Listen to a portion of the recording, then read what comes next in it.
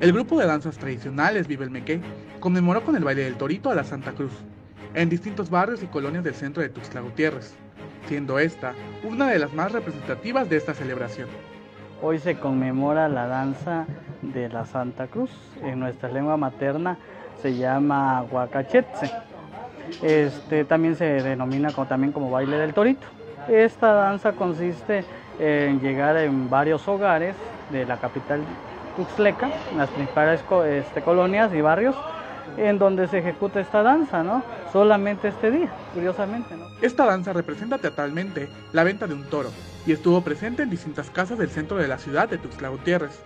La característica principal son sus danzantes, quienes se personifican pintando sus rostros de color negro.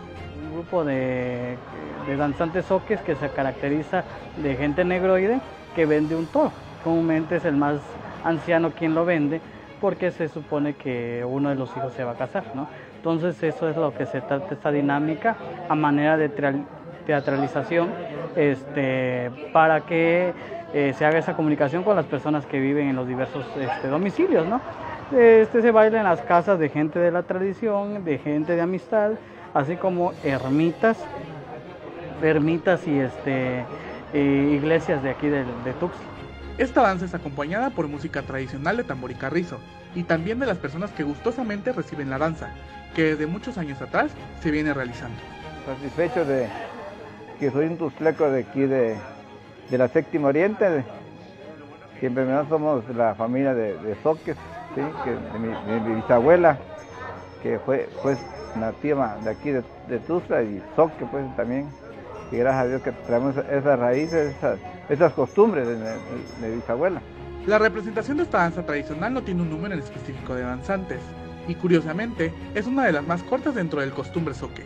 No hay un número de danzantes en sí, pueden ser cuatro, seis, ocho, siempre tiene que ser par, eso sí, pero de ahí no hay un número exacto de danzantes tradicionales, eso ahí es como comúnmente se pueda acumular la gente.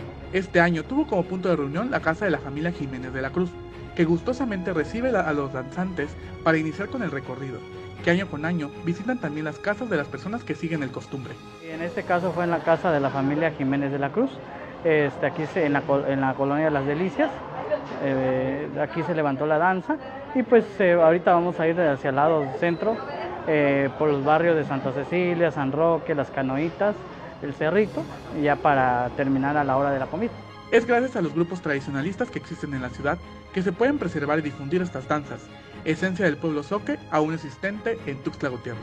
Es importante el fomentar, el conservar y el difundir este tipo de celebraciones que pese a los roles sociales que hoy tenemos, hacia otras visiones ya más de, este, eh, pues de ciudad, ¿no?